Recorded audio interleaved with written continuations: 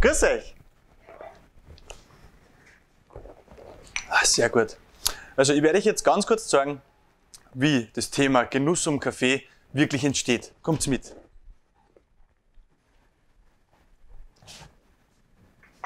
So, damit wir das kriegen, was wir da in der Tasse haben, ist der Ursprung die Pflanzen.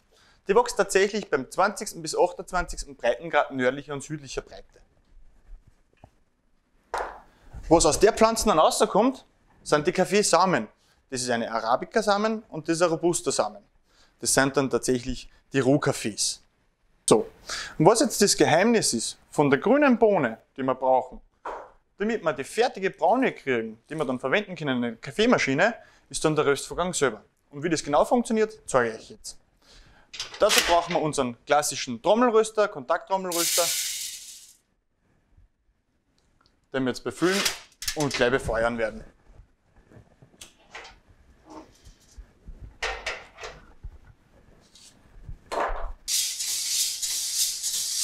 So.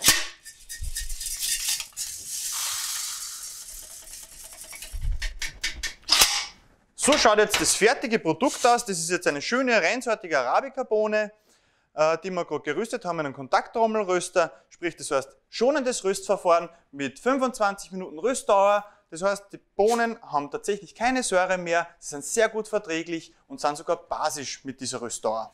Schauen wir uns das in der Maschine an.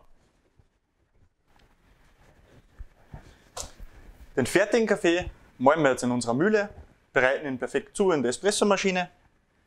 Und wenn man wirklich alles richtig gemacht hat, dann hat man einen gesunden, aromatischen, frischen Kaffee. Lasst es schmecken.